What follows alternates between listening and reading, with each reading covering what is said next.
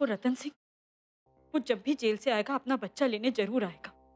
और जब उसे ये पता चलेगा कि कि गंगा ने चक्या से शादी कर ली है तो तो तू क्या चाहती है सुमित्रा अगर ऐसा हो जाए वाकई में रतन सिंह लौट आए तो हमें जग्या को उसका सामना अकेले करने देना चाहिए। क्या ये सही नहीं होगा सुमित्रा कि किसी भी मुसीबत के आने से पहले हम उसका परिवार उसके साथ खड़ा उसकी ताकत बनकर? तने तो ये बात भी खटके होगी। कि गंगा तलाक शुदा है और ऊपर से उसके पति की निशानी मन्नू भी उसके साथ है है ना?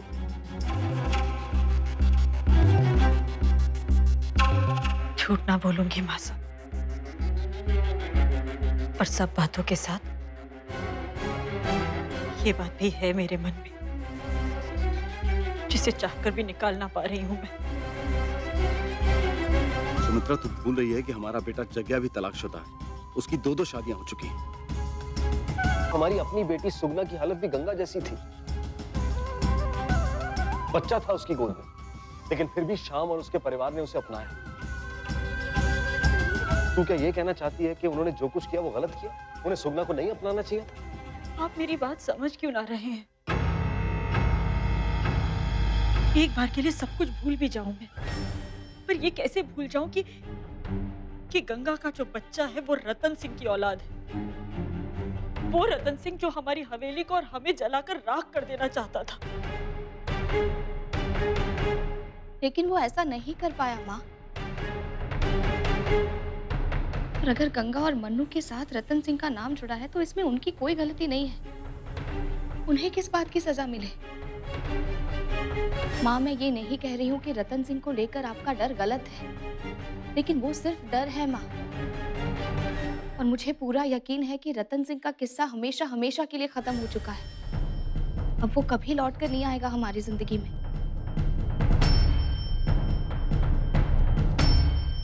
माँ जग्या के लिए जीवन साथी ढूँढने की ज़िम्मेदारी आपने मुझे सौंपी थी ना। तो मेरा यकीन कीजिए। अगर साची के रिश्ते की बात बीच में ना आई होती तो मैं खुद आने वाली थी आपके पास। गंगा को हवेली की बहू के रूप में स्वीकारने की बिनती लेकर।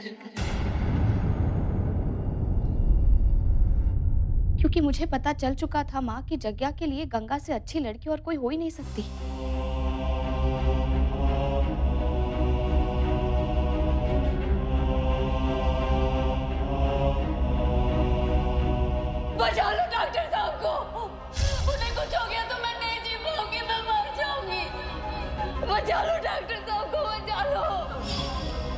जग्या और सांची की सगाई से पहले मुझे पता चला कि सिर्फ़ गंगा ही नहीं, बल्कि जग्या भी गंगा को चाहता है।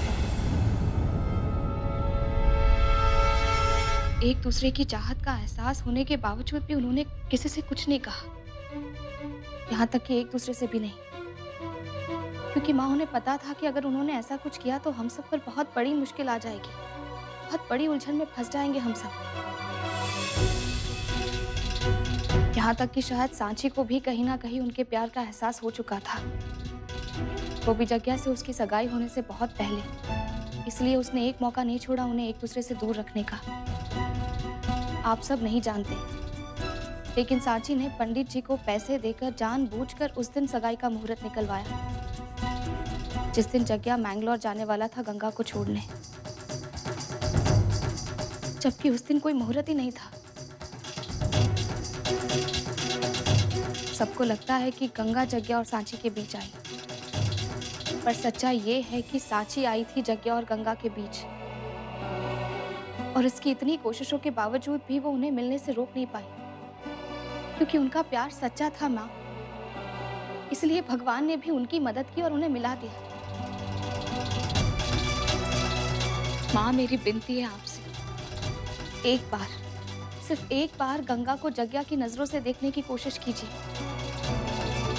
परसों बाद जग्या ने कोई फैसला लिया है।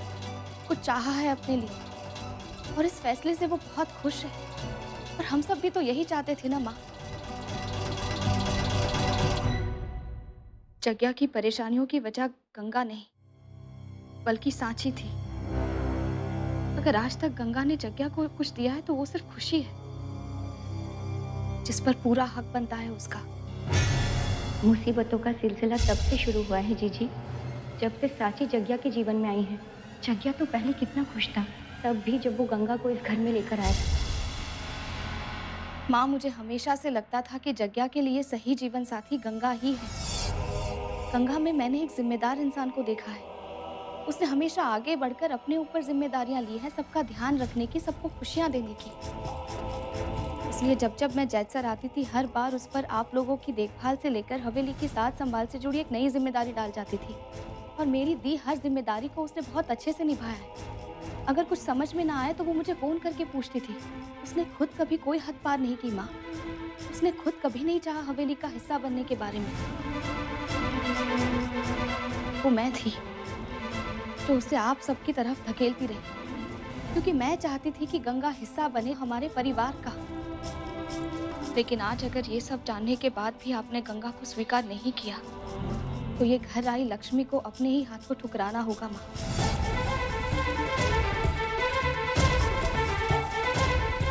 मत कीजिए ऐसा।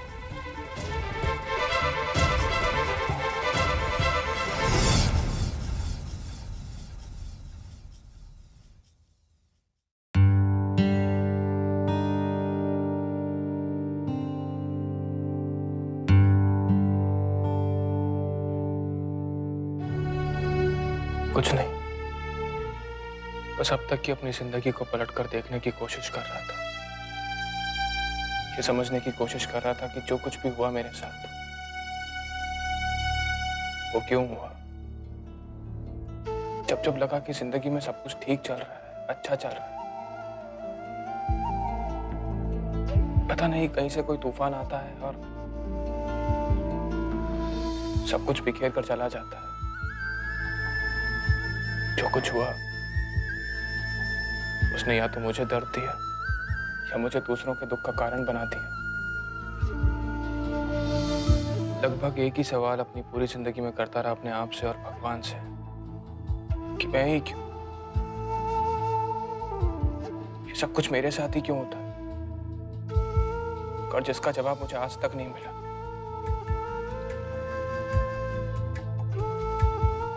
गंगा मैं थक गया हूँ। लगातार अपने आप को साबित करते करते थक गया हूँ ऐसा लगता है जैसे एक छोटा बच्चा हूँ, जिसके हाथ में कंचों से भरा एक बक्सा है, जो हाथ से फिसल गया और सारे कंचे ज़मीन पर बिखर गए बड़ी मुश्किल से एक एक कंचे को बक्से में वापस रखता हूँ। और जब लगता है कि सब कुछ शांत हो गया तो अचानक वो कंचों से भरा बक्सा मेरे हाथ से वापस छूट जाता है। और मेरी ज़िंदगी कंचों की तरह वापस बिखर जाती है ज़मीन पर।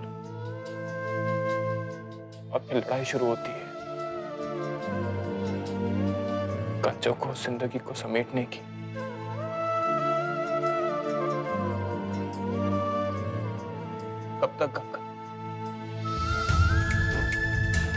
एक आम ज़िंदगी जीना चाहता हूँ औरों की तरह। जिस तरह औरों को सहारा मिलता है, प्यार मिलता है, वैसा सहारा, वैसा प्यार मुझे क्यों नहीं मिल सकता? इससे ज़्यादा तकलीफ़ की बात और क्या होगी? जब अदालत ने मुझे बेगुनाह मानकर मुझे आज़ाद कर दिया, मुझे रिहा कर दिया, लेकिन मेरा अपना परिवार,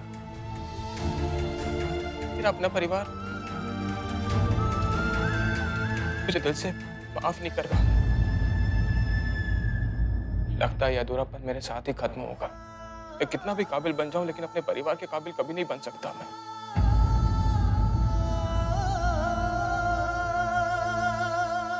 नहीं, डॉक्टर साहब।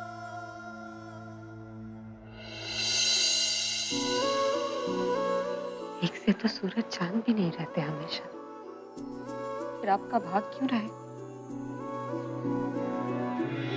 संघर्ष खत्म हो जाएगा। हम दोनों मिलकर इस नाराज़गी को दूर कर देंगे। बस थोड़ा वक्त लगेगा। और फिर आप में तो कितनी हिम्मत है, डॉक्टर साहब? आपकी इस हिम्मत के ही सहारे मैं आज यहाँ हूँ, वरना तो आप कैसे हिम्मत हार जाएँगे तो मेरा क्या होगा?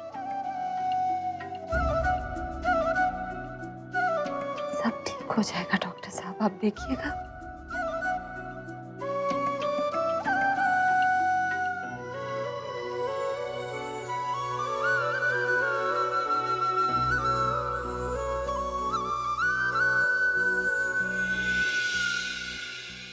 तू अपने आप को परेशान मत कर बेटा।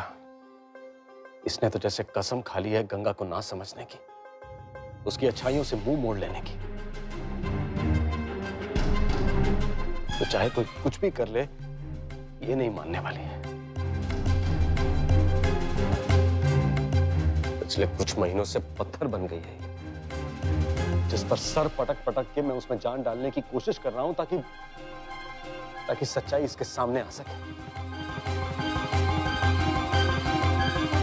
लेकिन इसने तो जैसे अपने दिल और दिमाग के दरवाजे ही बंद कर दिए। हर सही बात, हर सही तर्क टकरा कर वापस आ जाता है।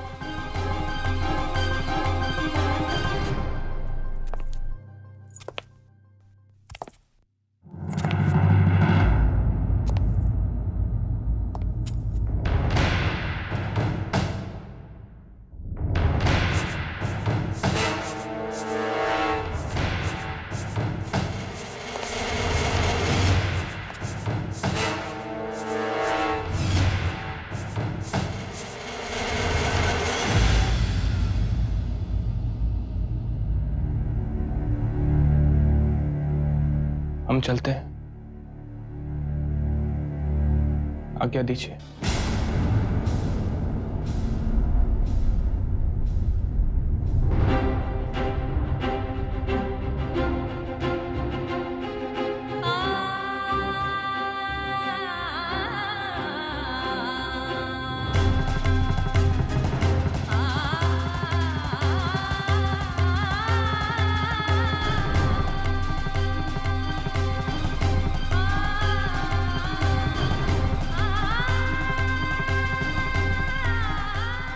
रुक जा जगह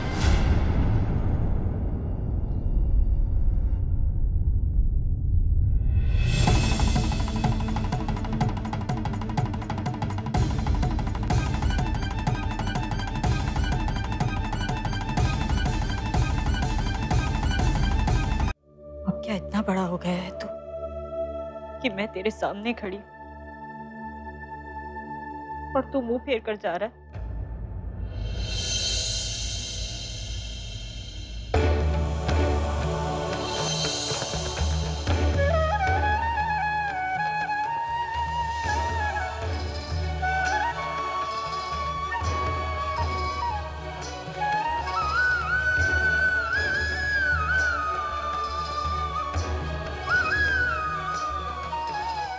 सके तो तू भी मुझे माफ़ कर देना, गंगा।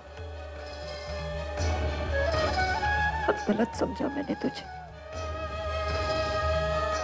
बहुत तकलीफ़ दी ना मैंने तुम दोनों को। बहुत रुलाए। वहाँ होकर भी अपने बच्चों की खुशी नहीं समझ पाई मैं। काकी साहब।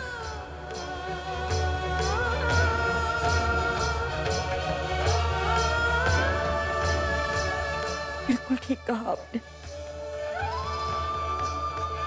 आँखों पर पर्दा पड़ गया था मेरी। अक्ल ही खो दी थी मैंने। आपने इतना समझाया मुझे, पर घर संभालने मुश्किलों में आपकी मदद करने की जगह। और मुश्किलें खड़ी करती रही आप लोगों के लिए।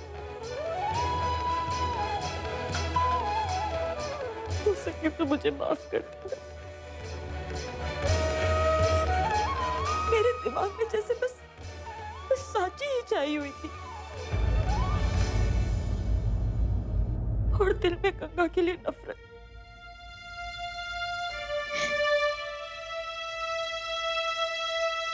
सच्चाई मेरी आँखों के सामने थी। मैं ही देखना पाई। माफ़ कर देना मुझे।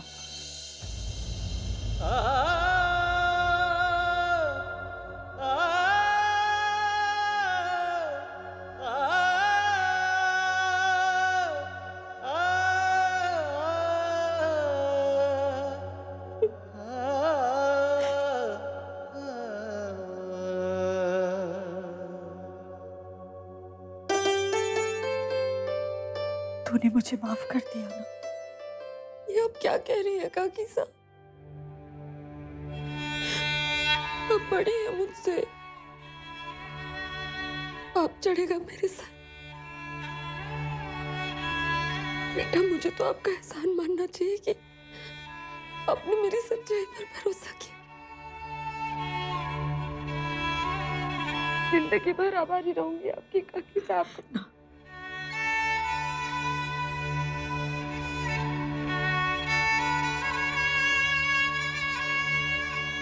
काकिसा नहीं वहाँ हूँ मैं जग्या की। और अब से तेरी भी। आज से तू मुझे हाँ कहकर पुकारेगी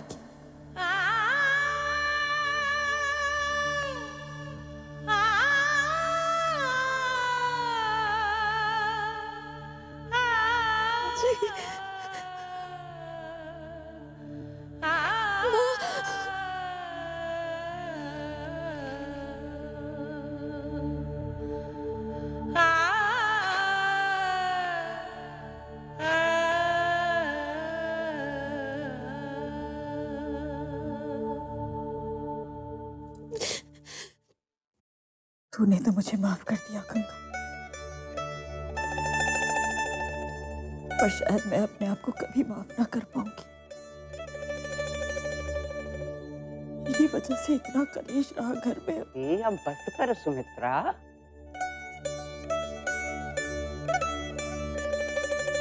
मिट्टी डाल पिछली बातों पे।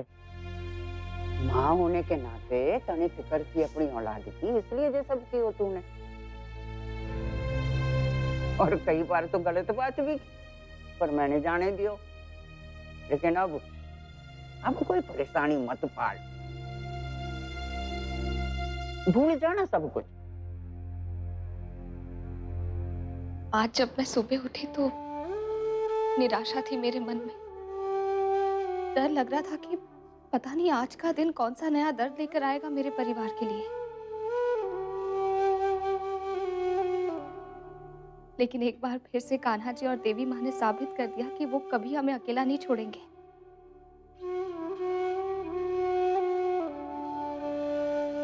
आनंदी बिल्कुल सही कह रही।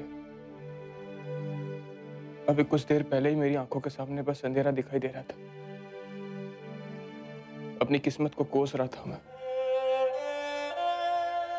लेकिन अचानक सब मिल गया। इस केस से मुक्ति और जिस प्यार के लिए मैं तड़प रहा था इसे पाने की उम्मीद में खो चुका था, वो भी।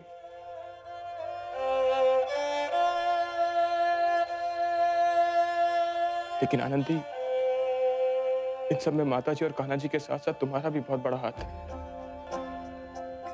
अगर तुम ना होती तो पता नहीं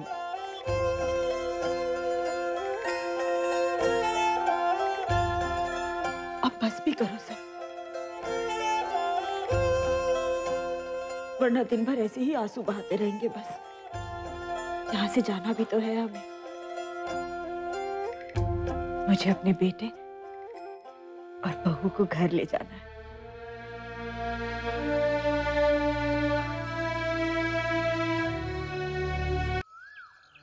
आनंदी जी, आपने मेरे लिए,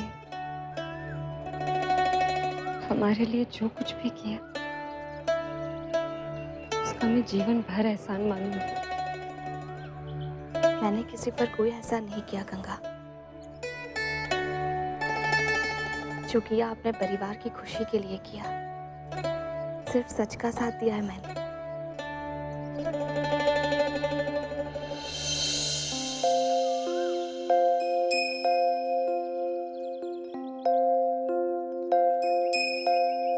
जुग जुग जीवे मारी चड़कले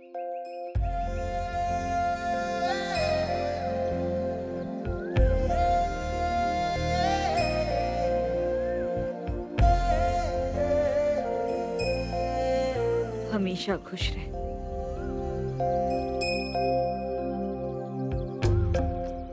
अपना ख्याल रखना। आप भी माँ।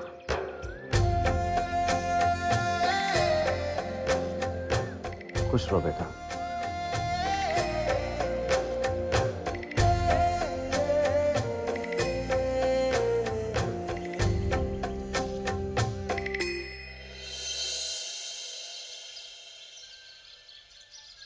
मैंने बार बार तुम्हारे लिए परेशानियाँ खड़ी की हैं। लेकिन तुम मेरा साथ देने से कभी पीछे नहीं हटी। थैंक यू आनंदी तुम्हें अपने परिवार के साथ, गंगा के साथ खुश देखकर मैं सारी परेशानियाँ भूल गई, जग्या। अब तो सब ठीक हो गया है ना?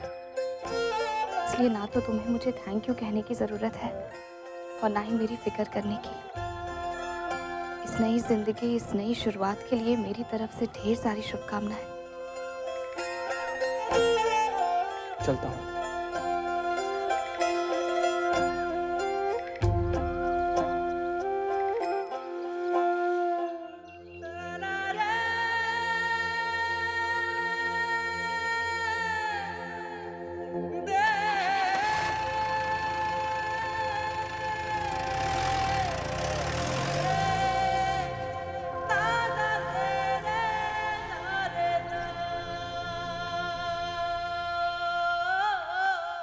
भ्रांतियों का निवारण होने पर इंसान के मन से पूर्वाग्रह समाप्त हो जाते हैं और रिश्तों को एक नया जीवन मिलता है।